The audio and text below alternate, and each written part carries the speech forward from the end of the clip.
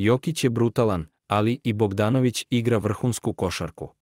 Bogdan je nastavio dominiranje, u konkurenciji je za prestižnu NBA nagradu. Srpski košarkaš Bogdan Bogdanović odigrao je važnu ulogu u pobedi Atlante nad Phoenixom.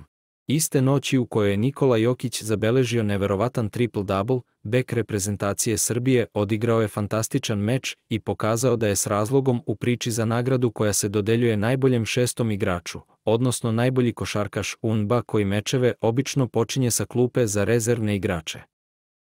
Hoksi su na polovremenu imali tri poena prednosti, a u poslednju četvrtinu ušli su sa pet poena prednosti. Bogdanović je odigrao fantastično i za 34 minuta igre postigao je 23 poena uz 5 asistencija i 4 skoka.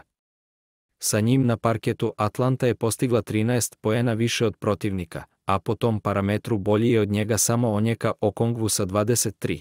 Bogdan je pogodio 4 od 7 trojki, a iz terena je bio precizan 8 puta iz 12 pokušaja.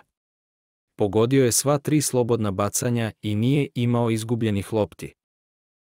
Ovo je bila 57. uzastopna utakmica u kojoj je kapiten Srbije postigao najmanje jednu trojku, što je najduži niz u istoriji ovog tima.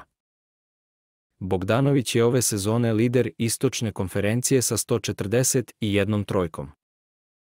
Prema nekim prognozama, trenutno je šesti favorit za osvajanje pomenute nagrade za najboljeg šestog igrača, ali ako nastavi sa ovakvim igrama,